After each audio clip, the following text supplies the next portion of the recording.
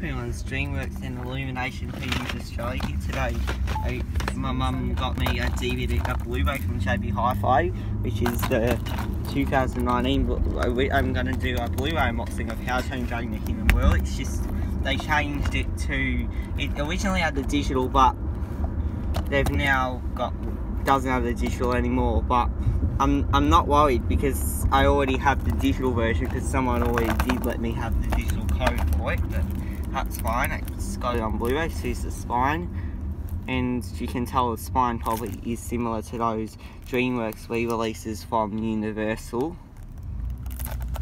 And they're back. The Friendship of a Lifetime. This is the first DreamWorks movie produced by Universal, and I don't have this even though I did the DVD menu walkthrough because I borrowed that one because I borrowed the um, DVD from the library, but I'll still do the Blu-ray menu walkthrough, which, yeah, I love the first one.